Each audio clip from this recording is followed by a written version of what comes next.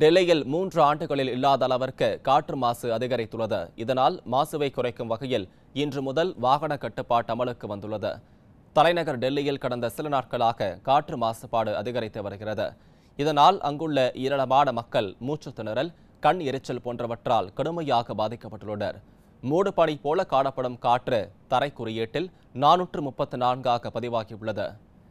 இந்த நிலையில் பள்ளிகளுக்கு நாளை வரை விடுமுறை வழங்கப்பட்டுள்ளது. இதனைத் தொடர்ந்து இன்று முதல் மாசுவை குறைக்கும் வகையில் ஒற்றை மற்றும் இரட்டை இலக்க வாகன கட்டுப்பாட்டு விதிகள் பின்பற்றப்படுகிறது.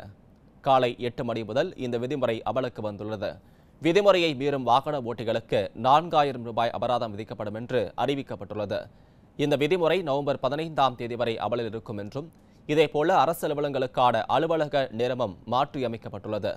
இருபத்தோரு அரசு துறைகளைச் சேர்ந்த அலுவலங்களுக்கு காலை ஒன்பது முப்பது மணி முதல் மாலை ஆறு மணி வரையிலும் மற்ற இருபத்தோரு அலுவலகங்களுக்கு காலை பத்து முப்பது மணி முதல் இரவு ஏழு மணி வரையிலும் மாற்றம் செய்து டெல்லி அரசு உத்தரவிட்டுள்ளது.